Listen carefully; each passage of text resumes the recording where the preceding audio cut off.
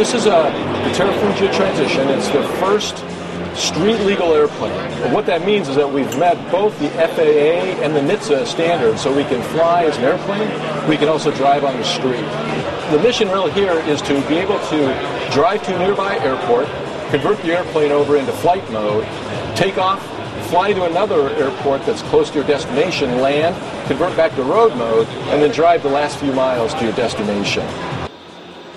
This is a Dynon Skyview system. It's a primary flight display. It's got the capability to show flight display. We can use it as a moving map. It's got a database of all the airports in the country. We have engine instruments here that are monitored. Now we're going to be going driving. We're going to fold the stick out of the way.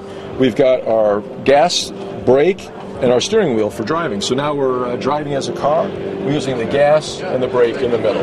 Engine burns premium auto fuel. So 93 octane auto gas, you pull up to the gas station, you fill up at the gas station, and that's where the fuel comes from. Same fuel source. Fuel's located in a 23 gallon tank. It's a fuel cell, much like you'd see on a NASCAR race car, that's located amidship right below the engine.